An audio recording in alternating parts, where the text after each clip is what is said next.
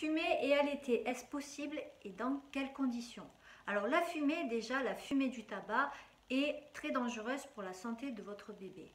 Et en plus, la nicotine passe dans le lait maternel. Mais attention, ce n'est absolument pas une condition pour arrêter d'allaiter si vous êtes fumeuse.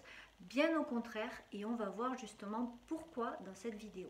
Dans un premier temps, on va voir quel danger concrètement représente la cigarette pour votre bébé. Il y a deux types de dangers pour votre bébé et on va voir euh, quels sont exactement ces dangers et comment vous pouvez faire pour les réduire au minimum.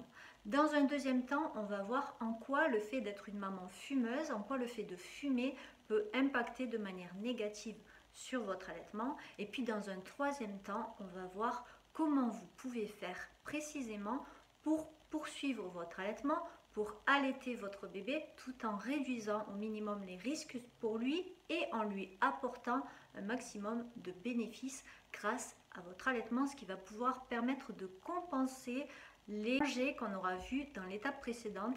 Et pour cela, on va rentrer plus dans le détail avec des tableaux sur les taux euh, de nicotine, l'évolution du taux de nicotine dans votre corps lorsque vous fumez une cigarette, comment évolue ce taux, à quel moment il y a un pic et à quel moment il redescend? Donc ça va vous permettre de savoir à quel moment vous pourrez allaiter votre bébé en l'exposant le moins possible au taux de nicotine, donc en faisant en sorte que le taux de nicotine soit le plus faible lorsque vous l'allaiterez. Le tabagisme représente deux types de dangers pour votre bébé.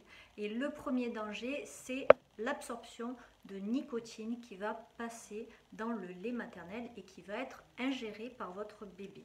Alors ça, ça va comporter des risques qui vont se représenter sous forme d'irritabilité de votre bébé, d'agitation et il peut aussi avoir des maux de ventre, des coliques, de la diarrhée, des nausées, tout un tas de désagréments comme ça physiques, mais le taux de nicotine passant dans le lait maternel reste quand même très faible. Donc ne vous inquiétez pas, on va pouvoir mettre en place des solutions pour permettre de réduire au maximum le taux de nicotine qui passe dans votre lait maternel et ne pas exposer votre bébé à ces risques qu'on vient de citer. Mais on verra ça plus tard dans la vidéo.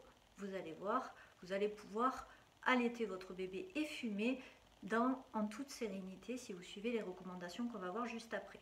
Deuxième type de euh, problème, de risque lié au tabagisme, c'est l'inhalation de fumée de tabac. La fumée inhalée par votre bébé comporte des risques beaucoup plus graves et beaucoup plus dramatiques parce que ce sont des risques d'ordre respiratoire, donc des maladies respiratoires comme la bronchiolite, des maladies des poumons, de l'asthme ou encore la mort subite du nourrisson qui va être dont le risque va être augmenté par le fait de fumer. Sachez quand même que toutes ces maladies sont davantage liées au goudron et à la présence d'autres composants dans euh, la cigarette que à la nicotine. Donc c'est vraiment le fait d'inhaler de la fumée, de respirer l'air ambiant rempli de fumée qui va causer tous ces désordres. Donc c'est vraiment l'inhalation de fumée. Ça sera important pour ce qu'on va voir juste après. Et là vous allez me dire, donc si je fume, je dois arrêter d'allaiter? Eh bien non, bien au contraire, la fumée du tabac est beaucoup plus dangereuse que la nicotine qui passe dans votre lait maternel. Et donc le plus important, c'est de mettre votre bébé à l'abri de cette fumée. Ça veut dire aussi que vous n'êtes pas la seule personne à devoir réduire au maximum le nombre de cigarettes que vous fumez. Bien sûr, si vous ne fumez plus, si vous arrêtez de fumer, c'est le mieux pour votre bébé, mais vous n'êtes pas la seule concernée. Tous les membres de la famille sont concernés parce que même le papa, s'il fume dans l'appartement et que votre bébé est exposé à la fumée du tabac, eh ben c'est la même chose. Votre bébé est exposé à tous les risques qu'on a vus précédemment. Donc retenez bien que personne ne doit fumer et tout le monde doit réduire au maximum sa consommation de cigarettes. Vous avez, si ça vous intéresse, une autre vidéo qui vous explique, qui vous donne 9 actions à mettre en place pour réduire au maximum les effets du tabac sur votre bébé. Elle devrait s'afficher juste ici. Vous pourrez aller la voir juste après avoir fini cette vidéo qui contient, elle, l'essentiel, le plus important pour savoir comment allaiter et fumer en réduisant au maximum les risques pour votre bébé. Donc on poursuit tout de suite avec une information très importante qui est que tous les experts s'accordent à dire que lorsque vous êtes une maman qui est fumeuse, il vaut mieux allaiter votre bébé. Mieux vaut être fumeuse allaitante que fumeuse non allaitante. Donc lorsque vous êtes fumeuse, c'est une raison de plus pour allaiter votre bébé. Pourquoi? Parce que le lait maternel comporte de nombreux bénéfices pour votre bébé, dont des bénéfices respiratoires, des bienfaits qui le protègent contre les maladies respiratoires. Ça fait partie des nombreux bienfaits du lait maternel. Si vous souhaitez en savoir plus sur les bienfaits du lait maternel pour votre bébé, vous pouvez visionner la vidéo qui s'affiche ici.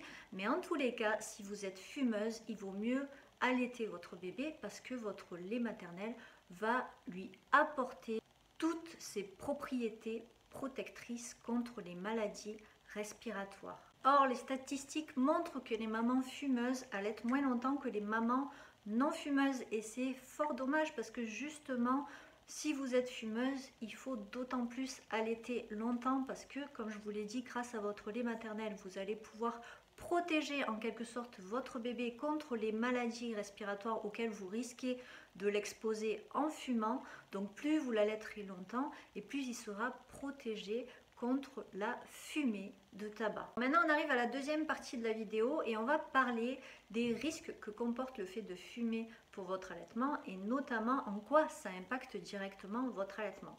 Ça va d'abord impacter votre production de lait maternel parce que le fait de fumer va inhiber votre sécrétion de prolactine. Or la prolactine c'est l'une des deux hormones principales de la lactation, de l'allaitement. Si vous voulez en savoir plus, vous avez une vidéo qui est dédiée à la production de lait et à la prolactine, elle s'affiche ici. Et donc forcément, si vous fumez, vous risquez d'avoir des chutes de production de lait ou d'avoir une production de lait plus faible. Deuxième impact de la cigarette sur l'allaitement, c'est que les décharges d'adrénaline provoquées par le fait de fumer vont inhiber la sécrétion de l'ocytocine, deuxième hormone très importante dans l'allaitement qui, elle, agit sur le réflexe d'éjection du lait. Donc le réflexe d'éjection du lait, autrement dit la sortie du lait maternel lorsque vous allaitez votre bébé, risque d'être réduite ou être légèrement altérée. Ensuite, autre impact, le changement de goût du lait maternel. Votre goût, le, goût de votre lait sera différent si vous êtes fumeuse. Et ensuite, dernier impact, c'est le risque de multiplier par deux le nombre de coliques de votre bébé. Nous arrivons à la troisième partie de cette vidéo qui consiste à vous dire concrètement comment faire pour fumer et allaiter votre bébé en réduisant au maximum les risques que comporte le fait de fumer pour lui. Pour ça, on va entrer un peu plus dans le détail et on va voir comment évolue le taux de nicotine dans votre corps, dans votre métabolisme lorsque vous fumez une cigarette. Et à partir de là, on va pouvoir établir ensemble un rythme d'allaitement qui va être le plus fiable, euh, le plus opportun pour pouvoir apporter un maximum de bienfaits par le biais du lait maternel à votre bébé tout en réduisant au minimum les risques que comporte la fumée de cigarette pour votre bébé. Pour éliminer totalement une cigarette, il faut environ 8 heures de délai. Donc le mieux est vraiment d'arrêter de fumer pendant la grossesse de manière à ne pas exposer du tout votre bébé. Mais si vous regardez cette vidéo, c'est que vous n'avez pas réussi à fumer et donc on va trouver quand même un moyen de vous permettre d'allaiter votre bébé tout en continuant à fumer et en essayant quand même de réduire au maximum le nombre de cigarettes que vous fumez euh, par jour. Mais je sais que la plupart d'entre vous sont des fumeuses occasionnelles et donc cette vidéo va servir d'autant plus pour pouvoir allaiter et fumer sans trop de désagréments pour votre bébé. Alors après avoir fumé une cigarette, lorsque vous fumez une cigarette, le taux de nicotine atteint un pic entre 5 à 10 minutes. Ensuite, il va redescendre doucement et de manière assez régulière jusqu'à atteindre un niveau qui soit euh, raisonnable, on va dire, autour de 60 à 90 minutes après avoir fumer. Le meilleur moment pour allaiter votre bébé serait donc théoriquement 8 heures après avoir fumé votre cigarette, mais on sait que le taux de nicotine qui passe dans le lait maternel est très faible. On sait aussi que la nicotine n'est pas ce qui est le plus dangereux pour votre bébé. On sait aussi que le lait maternel apporte de nombreux bienfaits qui sont protecteurs contre les maladies respiratoire et donc on peut se baser sur ces 60 à 90 minutes après une cigarette comme données fiables pour allaiter votre bébé. Autrement dit, après avoir fumé une cigarette, vous pouvez attendre environ une heure et demie avant d'allaiter votre bébé et ce sera un timing qui sera assez bon pour le préserver du taux de nicotine qui sera dans votre lait maternel. Le plus simple reste de fumer juste après avoir allaité votre bébé, comme ça vous savez que le temps, la durée qui va s'écouler après votre cigarette va être la plus longue possible. Mais dans tous les cas, ce qu'il faut vraiment retenir, c'est que le tabagisme passif est ce qui est le plus dangereux pour votre bébé. Donc quoi que vous fassiez, poursuivez votre allaitement pour lui apporter les propriétés protectrice du lait maternel, ça on l'a dit plusieurs fois dans la vidéo, mais surtout quand vous fumez, ne fumez jamais dans une pièce fermée et ne fumez jamais à proximité de votre bébé. Faites toujours en sorte de fumer à l'extérieur. Si vous n'avez pas de jardin, que vous êtes en appartement, sortez et fumez sur le balcon avec la fenêtre fermée pour qu'il n'y ait pas du tout de fumée qui rentre dans l'appartement. Autrement, vous sortez carrément du bâtiment et vous allez fumer votre cigarette en bas. Et justement, sachez que vous avez une alternative qui se pose à vous vous pouvez très bien faire appel au substitut de nicotine. Si vous souhaitez arrêter de fumer, vous pouvez faire appel au substitut de nicotine pendant l'allaitement. C'est tout à fait possible. Rendez-vous sur le CRAT, c'est le site officiel qui vous permet de savoir quels médicaments sont compatibles ou pas avec la grossesse et avec l'allaitement.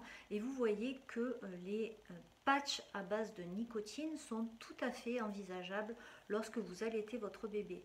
Quel est leur intérêt à ces patchs? Leur intérêt, c'est qu'ils vont permettre d'arrêter complètement l'exposition au tabagisme passif de votre bébé. Autrement dit, ce qui est le plus dangereux pour lui.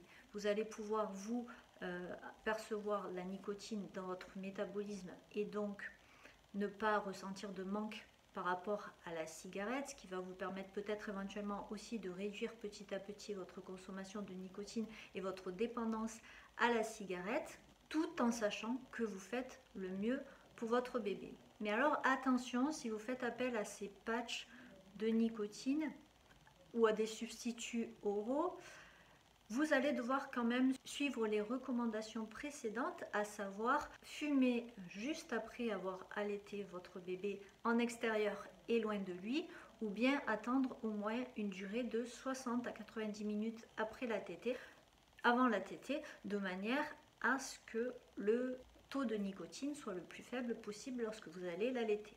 Dans tous les cas, si vous êtes plus que fumeuse occasionnelle, que vous fumez beaucoup de cigarettes par jour. Sachez que vous n'êtes pas seul, vous pouvez faire appel à une puéricultrice addictologue ou à une infirmière addictologue. Elles sont spécialisées dans les métiers de l'enfance et elles sont là pour vous accompagner et pour vous aider à poursuivre votre allaitement même si vous fumez. Et surtout, elles n'apportent pas de jugement, elles sont vraiment là comme soutien. Donc n'hésitez pas à chercher sur Internet une puéricultrice ou une infirmière addictologue qui vous apportera son soutien et un accompagnement professionnel. J'espère que cette vidéo vous a apporté les réponses que vous attendiez et que vous allez pouvoir poursuivre votre allaitement avec plus de sérénité. Et puis n'hésitez pas à aller voir les autres vidéos que j'ai fait sur le sujet qui devraient apparaître ici sur les côtés.